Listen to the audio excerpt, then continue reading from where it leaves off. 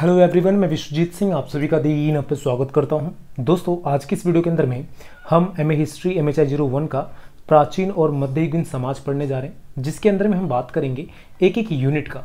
ठीक है कि एक यूनिट के अंदर में कितने टॉपिक्स हैं, कितने लेसन्स हैं और किस तरह के क्वेश्चंस बन सकते हैं, उनका पैटर्न क्या हो सकता है क्वेश्चंस का और एग्ज़ाम में कैसे पूछे जा सकते हैं, इसके बारे में हम डिस्कस करेंगे। साथ साथ में शॉर्ट में जानेंगे कि उसका आंसर हम कैसे लिखेंगे। तो वीडियो इंपॉर्टेंट होने वाली है। एक एक यूनिट को खत्म करेंगे। टोटल नौ यूनिट है इस वीडियो के, इस चैप्टर के अंदर में, इस बुक के अंदर में।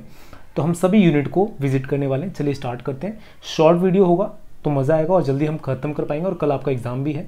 ठीक है तो चलिए स्टार्ट करते हैं।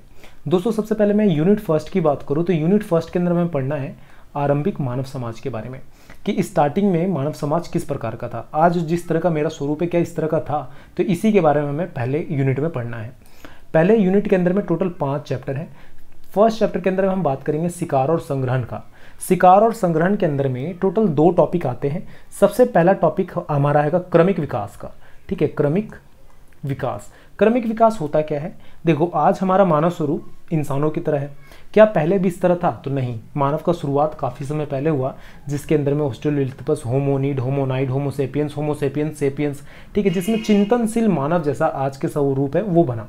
तो एक बहुत लंबा प्रोसेस रहा, ठीक है धीरे धीरे धीरे धीरे समय के साथ परिवर्तन होते हुए, सीखते हुए चीज़ों को, और आज हम मानव स्वरूप में है जिसे हम होमोसेपियंस सेपियंस के तौर पर जानते हैं।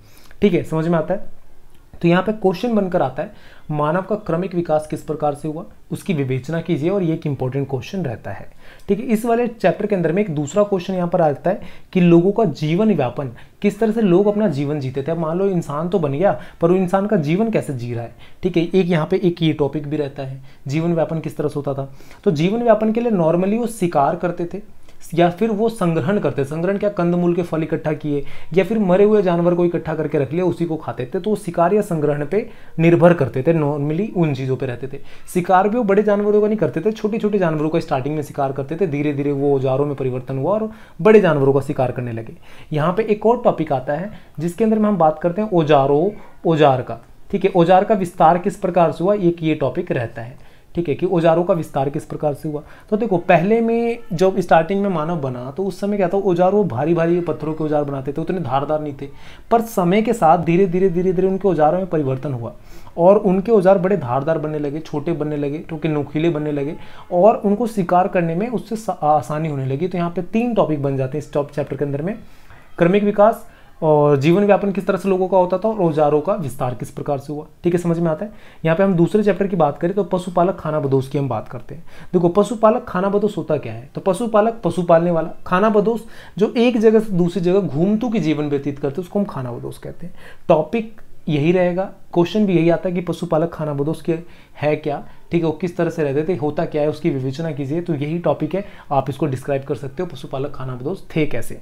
ठीक है, समझ में आता है? यहाँ पर खाना बदोश की अर्थव्यवस्था किस प्रकार से थी, किस प्रकार से चलते थे, किस प्रकार से संचलित होते थे जीवन व्यापन क्या होता था, पूरा यहाँ पर डिस्क्राइब करके लिखोगे, यहाँ पर अच्छे नंबर मिल जाते हैं। तीसरा हमारा चैप्टर है कृषि की ओर संक्रमण। अब देखो, मानव का जन्म हुआ, उसके बाद वो धीरे धीरे जानवरों को पालने लगा तो पशुपालक कहलाया। जानवरों को पालने के साथ साथ वो एक जगह से दूसरी जगह जाता था, ठीक है? तो उसको हमने खाना बदोश कहा। तो वो पशुपालक खाना बदोश का जीवन व्यतीत कर रहा था, इस स्टेज पे थर्ड स्टेज पे, ठीक है? उसके बाद अब वो कृषि की ओर संक्रमण होने लगा। कृषि की ओर संक्रमण कैसे होने लगा?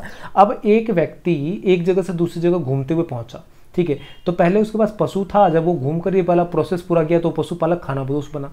तो कई बार क्या होता था कि कुछ कारण से, ठीक है, एक जगह से दूसरी जगह विस्थापित होना पड़ता था। मेनली रीज़न क्या होता था कि सूखा पड़ गया, पानी नहीं है, या फिर कुछ और आपदा आ गई, या फिर वहाँ पे भोजन नहीं है, ये रीज़न होता था। पर कई बार क्या होता था, जब एक जगह से दूसरी जगह जाते तो काफ़ी लंबे समय तक एक एक जगह पर रुक जाते थे तो वहाँ पर रुकते थे तो उसके हिसाब से अपना वातावरण बना लेते थे। ठीक है खाने पानी की व्यवस्था हो जाती थी कई बार कृषि के लिए कुछ चीज़ें उगा देते थे, ठीक है तो वहाँ पर जब इस धीरे धीरे इस तरह से करने लगे तो यहाँ से मानव का स्वरूप कृषि की ओर संक्रमण की ओर बढ़ने लगा, कृषि की ओर जाने लगा। ठीक है तो यहाँ पे बात करते हैं। जब हम कृषि के संक्रमण की बात करते हैं तो यहाँ पे दो क्वेश्चन बनकर आता है। एक तो आपका बनकर आता है कि यूरोप में मानव का कृषि स्वरूप किस प्रकार से रहा, ठीक है, किस प्रकार से संक्रमण हुआ, और दूसरा, दक्षिण एशिया के अंदर में किस प्रकार से संक्रमण हुआ, ये दो टॉपिक रहते हैं। ठीक है तो दोनों के स्वरूपों को आपको पढ़ना होगा थोड़ा थोड़ा ऑलमोस्ट सेम ही होता है बट थोड़ा सा आपको ना मेनली किस क्षेत्र में किस तरह से विस्तार हुआ, वो आपको थोड़ा सा आइडिया रखना होगा कि यूरोप में किस तरह से, दक्षिण एशिया में किस तरह से, और यहाँ पे टॉपिक इंपॉर्टेंट रहता है। चौथा हमारा टॉपिक है यहाँ पे नवपाषाण क्रांति का, कि नवपाषाण क्रांति क्या है? नवपाषाण क्रांति में नव मतलब क्या होता है? नया। पाषाण मतलब होता है पत्थर। नए पत्थर की क्रांति के तौर पे हम बोलते हैं। इसके अंदर में सबसे पहले तो आता है कि देखो, अब नए नए पत्थर मतलब क्या? पहले भारी भारी औज़ार बना रहे थे तो पहला टॉपिक आता है औजारों के अंदर में क्या परिवर्तन हुआ? उसको लेकर टॉपिक बनता है, जिसमें पूरा पाषाण, ठीक है, इससे पहले का जो टाइम पीरियड था, पूरा मतलब पुराने पत्थरों का युग। पूरा पाषाण काल और परिवर्तित नवपाषाण काल, जो नए पत्थर का युग जो शुरू हुआ, उन दोनों के बीच में जो औज़ार थे, उनके में डिफरेंस क्या था? इसके ऊपर एक क्वेश्चन बन के आता है। अब पूरा पूरा पाषाण काल में क्या था? पुराने पत्थर थे। ठीक है बड़े बड़े औज़ार बनाए जाते थे, पर उतने धारदार नहीं होते थे। ठीक है, औज़ार भारी बनते थे, धारदार नहीं होते थे, उनको शिकार करने में आसानी नहीं होती थी। ठीक है, पर नव पाषाण में क्या वो धारदार हथियार बनाने लगे, एकदम तेज तेज हथियार एकदम बनने रहे थे।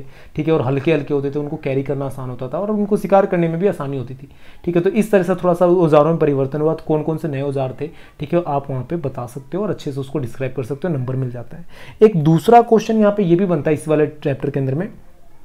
कि पूरा पाषाण और नव पाषाण के अंदर में समाज किस प्रकार का था, ठीक है, लोग वहाँ पे किस प्रकार के थे, समाज किस प्रकार का निर्माण करते हैं। तो देखो, पूरा पाषाण के लोगों का क्या था मेनली जीवन जो वेपन होता था, शिकार और संग्रहण पे बेस्ड था मेनली शिकार करते थे और संग्रहण करते थे धीरे धीरे वो पशुपालन की ओर बढ़ रहे थे।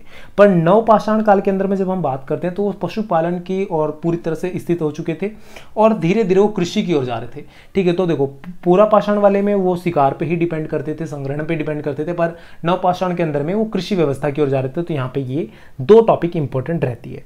ठीक है? पांचवा यहाँ पे जो आपका टॉपिक बनता है, दुनिया पे इसका किस प्रकार से असर हुआ? तो दुनिया पे असर क्या होता है कि धीरे धीरे देखो, अब कृषि हो रही तो कृषि का विस्तार होने लगता है नए नए तकनीकें यूज़ होने लगती है, हल्का फाल यूज़ होता है, ठीक है? अलग अलग तरह से यूज़ होता है। फिर आगे आपका कास्य युगीन सभ्यता आएगा तो जहाँ पे हम का, कास्य का यूज़ करना शुरू करेंगे, उसके हिसाब से अपना औज़ार बनाना शुरू करेंगे। पहले पत्थर का बना रहे थे, अब धीरे धीरे औज़ार में भी परिवर्तन आएगा, अपने रहन सहन में परिवर्तन आएगा लेखन कला सीखेंगे, ठीक है? तो उस तरीके से अगला हमारा सेकेंड टॉपिक स्टार्ट होगा सेकेंड यूनिट स्टार्ट होगा।